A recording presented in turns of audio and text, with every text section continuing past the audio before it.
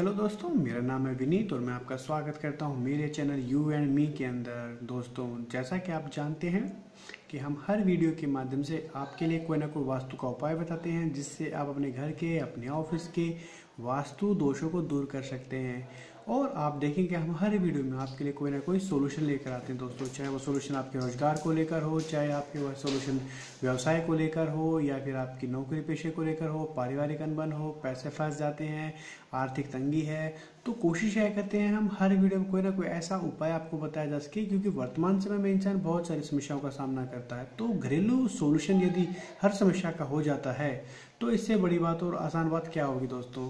तो छोटे छोटे घरेलू उपाय जानने के लिए आप हमारे चैनल के साथ बने रहिए, हमारी वीडियो को लाइक कीजिए, शेयर कीजिए और हमारे चैनल को सब्सक्राइब करना बिल्कुल ना भूलें। दोस्तों, आज इस उपाय के माध्यम से हम आपको बताएँगे कि यदि इंसान बहुत सारी इच्छाएँ रखता है दोस्तों, और हर इच्छा को पूर्ति करने के लिए वह छोटे छोटे उपाय करता रहता है, लेकिन यदि आप शनिवार को हनुमान जी का यह उपाय करते हैं तो आपकी हर इच्छा पूरी होगी दोस्तों। करना क्या दोस्तों आपको? एक आटे का लेना है, आटा। आटे में आप बेसन भी डाल लें थोड़ा सा थोड़ी ही उड़द का आटा ले लें, उनका मिलाकर एक दीपक लगा लें।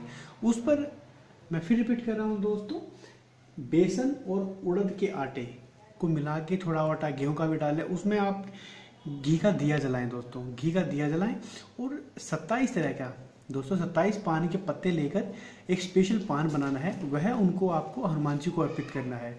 मिठाई के तौर पर आप जो हनुमान जी को पसंद है, वो लगाएँ।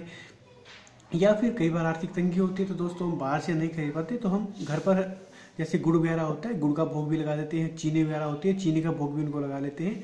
उनको सिंदूर अवश्य लगाएँ उस दिन।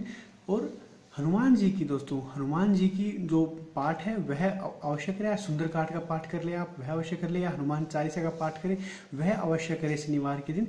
यदि आप ये छोटे छोटे उपाय करते हैं दोस्तों, और जो स्पेशल पान आप बनवाएँगे दोस्तों, उसमें पाँच चीज़ें अवश्य डलवाएँ जैसे कत्था है, गुलकंद है, सौंफ है, खोपरे का बूरा है और सोमन कतरी है। दोस्तों, मैं फिर रिपीट कर रहा हूँ।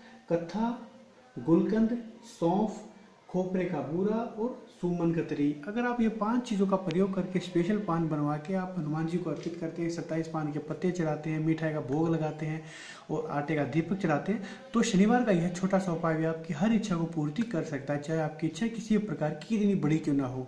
लेकिन आपको मेहनत करनी होगी छोटे छोटे उपाय करने पड़ेंगे, घरेलू उपाय करने पड़ेंगे दोस्तों।